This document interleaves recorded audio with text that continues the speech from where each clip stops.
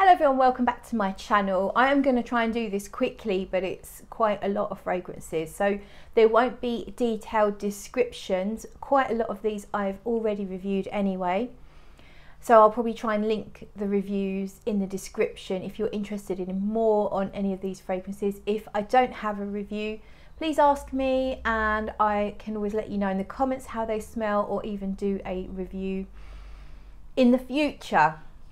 So today's video is about my fragrance rotation. I'm going to show you the fragrances that I've been that have been in my rotation and I have been wearing more often. So this isn't most worn. You will see, I think all the fragrances that were in my most worn video will be here unless I've left them lying around the house and forgotten about them. But this is about the fragrances that have been in my rotation, sat there in front of me to pick from for the last few months that I've now decided to have a little change up, change things around. We're not quite ready to step into spring, but I have decided to just change the rotation up a little bit more. I'm actually trying to stop myself from wearing my most worn fragrances because they're getting very, very overused. Certain fragrances, because I've fallen head over heels in love with them, and they're getting used almost on a daily basis, some of these. And I want to kind of put those out of the way a little bit and give my other fragrances a chance. Now, there is a thing that that happens on YouTube, certain videos that come up with a title Shop My Stash. And I kind of wanted to incorporate that with this video. So my idea is I get to reacquaint myself with fragrances I still love, but they've been kind of put to the side because of new loves. Because we're a fickle bunch, aren't we, us fragrance lovers? So this is my way of shopping my stash, therefore uh, increasing my love of my own fragrances that I already own, and hopefully helping me to say no when I feel the urge to buy something new. So I want to be more careful about my purchases. So without any further ado, we're two and well, nearly three minutes in and we haven't even got a fragrance out yet. Let's go. So one fragrance I've been reaching for loads and loads and loads and loads and loads and I absolutely love it is Byzance from Ormonde Jayne. And I don't think I've reviewed it yet. No, I haven't, but I've talked about it quite a lot and I will be reviewing it. But for now, I'm going to put it away in the cupboard upstairs out of sight because look how much I've worn since I received it in January. I mean that's crazy isn't it? I have been wearing the heck out of it because I love it so much. So it's going away. It's a it's a vanilla fruity fragrance with a gorgeous sort of suede like texture kind of like irisy, a little bit milky, just beautiful. I really, really love it. Spicy as well. There's some pepper in there. But I'm putting it out of the way so that I stop wearing the heck out of it just for a while. And then maybe when I do reacquaint myself with it, I'm going to fall in love again. Another one, my most worn fragrance recently has been Iris Shot from Olfactive Studios, a gorgeous iris, ambrette, sort of carrot seed, musky, uh, slightly gourmand iris perfume. I can't get enough of it so I'm going to put it out of sight for a little while just so that I can reignite the passion later on. My signature scent is my Insolence. This definitely gets quite a lot of use. I've got two bottles, no I've got three bottles, I've got two 50 mils and a 30 mil. So I'm going to put this out of sight for a while. My Insolence is an another almond, powdery, musky vanilla with a little bit of uh, white floral in there. I love it so much. It's very gentle, subtle, delicate. It's very me. I just feel very comfortable wearing it. But I need to put it out of mind, out of sight, so that I can start to enjoy other things. Tyger Tyger, Francesca Bianchi, another one. You can see there's a fair dent in that and I've only had it a month or so. A gorgeous honey dripping white floral on a vanilla suede like base. I love it. So we're going to put it out of sight. And this is Irises from Teone Reinthal.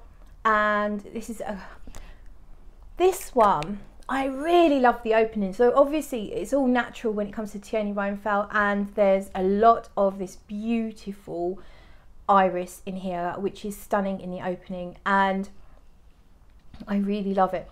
The dry down's got quite a lot of oak moss and I don't love it quite so much when it gets further into the dry down. It's got this kind of um, green, sharp, slightly woody-ish feel to it. But opening is so addictive and I think this jasmine is like more florals in here than just iris. It's gorgeous, so I'm putting it out of sight. So you can see I've made a little dent in there.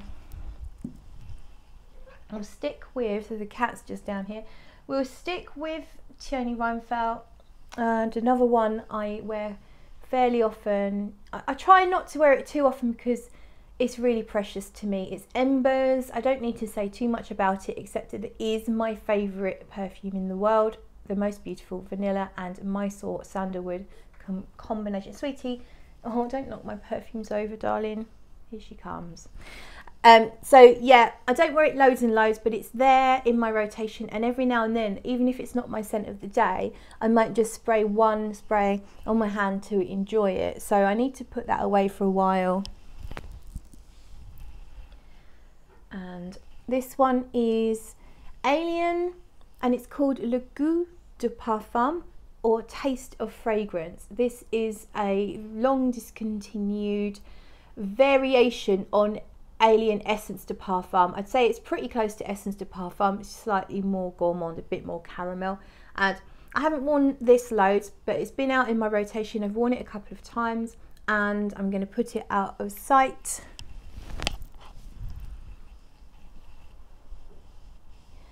This is Amarena Cherry, which is a Lost Cherry dupe that I actually prefer to the original Tom Ford Lost Cherry. Voluptuous, rich cherry almond and liqueur fragrance and I'm going to pop it out of the way. Now there's a couple in my rotation that are staying and I'm going to come to those in a minute.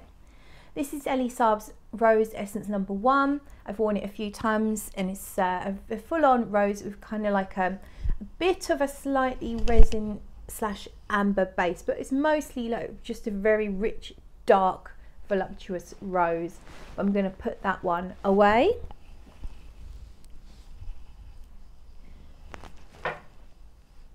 Bukhara from Gallivant is uh, another musky iris fragrance. Got a little bit of jasmine, a little bit of spice.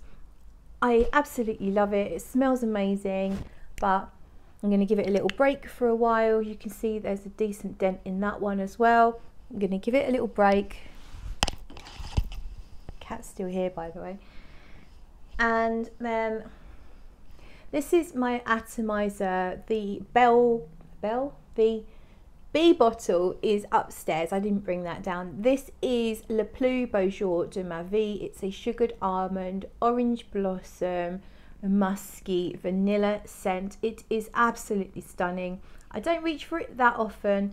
I put it on the other day and I was like, wow, this is amazing but I think I don't want to wear it too often. I got it in Paris and I spent lots of money on it and it's very special to me so I don't want to wear the heck out of it anyway so I'm going to put this one out of sight for a little while. Now the next three are staying in my rotation because they are what I call my easy grab and go fragrances. Fragrances that just work, they feel comfortable, they feel easy, breezy. I love how they smell, but they're not too heavy. I still really enjoy the lighter fragrances. So this one's Miss Dior Cherie. So what I'm going to do is I've got a few variations of this particular perfume. So I'm going to put all of them but this one away And I'm just going to wear this one. This is the, oh, now I have to remember, is it the 2012?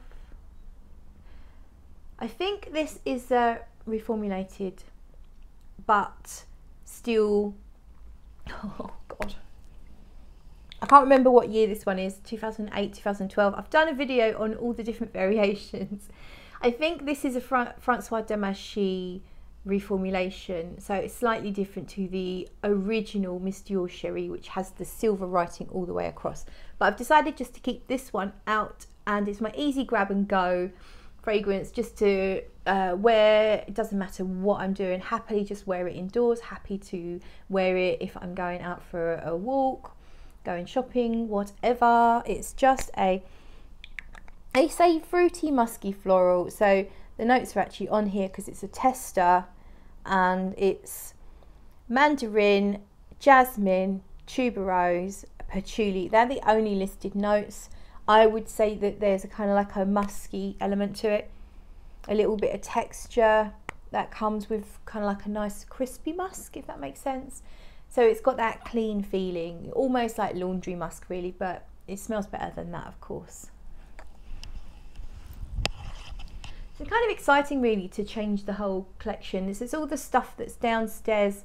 That's what I usually choose from. So it's all going to go upstairs and then um, I've brought some stuff from upstairs, downstairs. So this, I have gone for another Miss Dior option that's staying because I do enjoy just spritzing a little bit of this on every now and then. And this is the Miss Dior Extract de Parfum. I believe this is the current formulation. I got this as a tester on eBay. I really love it. It doesn't last very long, it doesn't project very far, you would expect an extract to have a bit better performance than the eau de parfums, but in this case, that's not the case.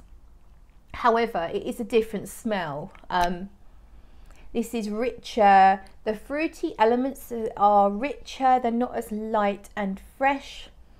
It's not a heavy fragrance. It's not like the original, the current formulation eau de parfum is very heavy. The patchouli is very heavy and the rose is very rich and there's sort of like an ambery vanilla.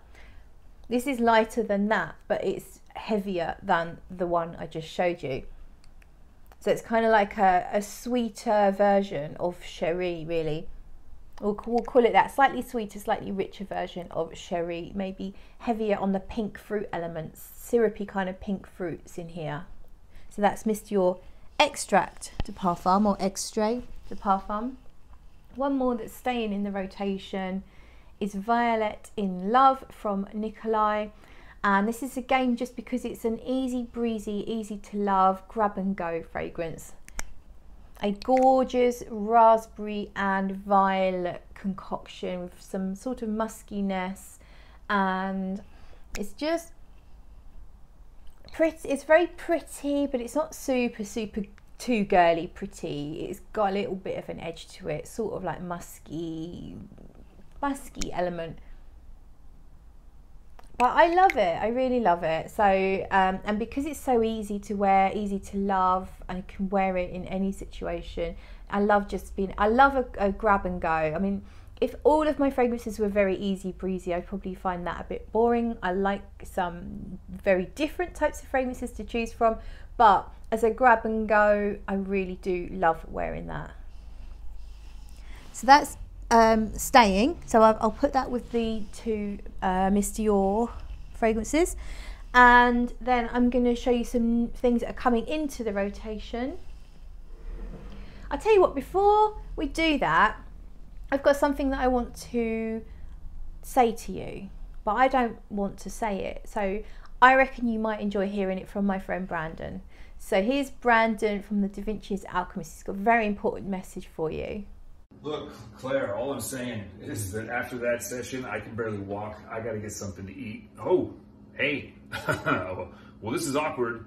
What are you guys doing in here, in my kitchen? Uh, well, since we're talking about Claire, if you haven't subscribed to her channel yet, do it now. If you have not uh, hit that thumbs up to like this kick-ass video, do it now. And don't forget to beat the shit out of that notification bell so you know when she drops those future sexy ass videos. Now, if you excuse me, get the hell out of my kitchen. I'm hungry. Thank you, Brandon. If you want to go and check out his amazing videos, and you really must, I'm going to link his channel below. Do go and subscribe if you're not already. So let's move on to the fragrances that are coming into the rotation. We've got a super floral one here. And this is a Zhivago 24K. Amazing presentation here. I love this. The sprayer is awesome. I just sprayed some upstairs and it's like it's well. I don't want to spray the cat. She's her head's over that way, so I'm going to spray it like that. So it's one of those.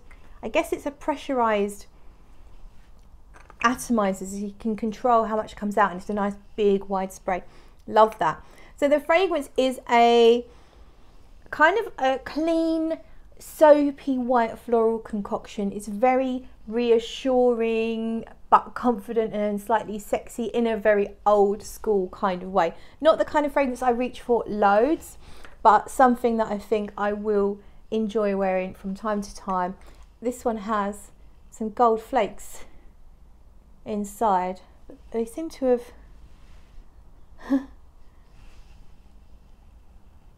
it's got gold flakes in, but it feels like they've disappeared. Uh, there's not that many in there anymore. You might be able to just catch a few. yeah, that's strange. Yeah, there's a few gold flake floating around, but I feel like there's not as many as there was, which is very strange. But anyway, it's kind of like soapy clean and uh, grown up type of scent. So I'll pop that back over here because that's staying downstairs. New to my collection. Oh, sweetie, you're going to knock everything over. Off you go. Go on, get on the floor. Good girl. New to my collection is a cheapie and it's called Want and it's by D Squared. D Squared are a designer, Italian designer house. So they uh, mainly do clothes, but they have been doing fragrances for a little while now. This one's now discontinued, but you can get it super, super cheap. I got this 30 mil for 15 pounds and it was a blind buy. And it's actually a really, really good vanilla fragrance. It's a vanilla with a little bit of floral. I think there's a little bit of rose and I'm not sure if there's a white floral in here as well. But mostly you're going to get quite a creamy vanilla, but it's got, I think it's got natural vanilla in it. It lists Madagascar vanilla and vanilla absolute in the note listing. And it does smell to me like there's natural vanilla. There might be some vanillin as well, which would make, because it's quite sweet, but it's a really, really good vanilla fragrance. So I'm going to give that a few wearings. I definitely want to give you a full review on that one. Haven't worn this one in ages. Intense Cafe from Montale. It's a rose and vanilla with a hint of coffee. I think everyone knows about that one enough, so I'm going to give that another go. Bee from Zoologist. Absolutely love that. You can see I've made fair old dent in that, and it's it's like smelling a crunchy bar it's just gorgeous honeycomb and a little bit floral a little bit a touch of heliotrope which gives it almondy element some vanilla tons more stuff going on in there but a beautiful fragrance. And I feel like as we're now approaching hopefully spring something about this feels sort of springy maybe because it's a bee and bees you know start to come out when the weather gets good. I don't know but I really love that. So I'm popping that into the rotation this one is my atomizer of Iris Ganache from Guerlain. Gorgeous iris, white chocolate, little bit of cinnamon, very, very smooth, tons of vanilla. Gorgeous fragrance, Iris Ganache. Looking forward to wearing a bit more of that. And this is Tobacco Rose from Papillon. Haven't worn this one in quite a while. A savoury rose. Savoury, there's hay in here which kind of has this kind of like dry yet rich you, I mean you know what hay like hay smells like so it's hay absolute I think and beeswax. So you get all the these different textures and savory kind of smells which I really like. And this one has a fair bit of oak moss in the dry down which I used to think was vetiver. There might be vetiver as well I'm not sure but I used to mix up now that I've smelt more perfumes and understand what oak moss is I can, I can kind of get it. So if you like oak moss uh, the dry down of this you're going to love SP Parfums unfortunately no longer trading but doesn't mean I can't enjoy the beautiful fragrances. SP Musk here and this has acacia, also known as hawthorn, which I think is also mimosa. I could be wrong. And There's like, uh, like a slight greenness, but it's a sweet, dewy greenness. And spray a little bit because this, there we go. And it's got a bite to it, a little a musky bite. And it's not a dirty musk at all. Don't think this smells like deer musk or or any secretions from animals at all. To me, it's quite a clean musk. And it's got jasmine sambac, which is gorgeous. And it's kind of, the jasmine in here is almost like the jasmine in Alien. It's not as big and loud as in Alien by Thierry Mugler, but it's that kind of alien jasmine smell. It doesn't smell like natural jasmine bush. It smells like a jasmine that has been almost interpreted by an abstract artist. So I absolutely love SP Musk. It's a gorgeous fragrance. Another Guerlain. I did wear this the other day actually. And this is my atomizer. I've left the bottle upstairs and this is Mon Precious Nectar, a beautiful uh, spring floral gourmand. It's a Flormond again. It's another orange blossom, almond, musk type scent with vanilla as well. Um, it's a little bit rich and syrupy and it's called Mon Precious Nectar and it, it couldn't be named more appropriately. You really do smell like a flower nectar that's maybe uh, had some added syrup to it. So Mon Precious Nectar I look forward to wearing. Another floral I look forward to wearing is Blue Lotus from Teone Reinthal. This has been downstairs because I did have all my Teone Reinthals all lined up. So it has been downstairs. Hasn't had as much of a of a wearing these sort of colder months because it has this kind of fresh, not watery exactly, but it does have this serene, clean, clear turquoise pond like feel, which is kind of hard to explain.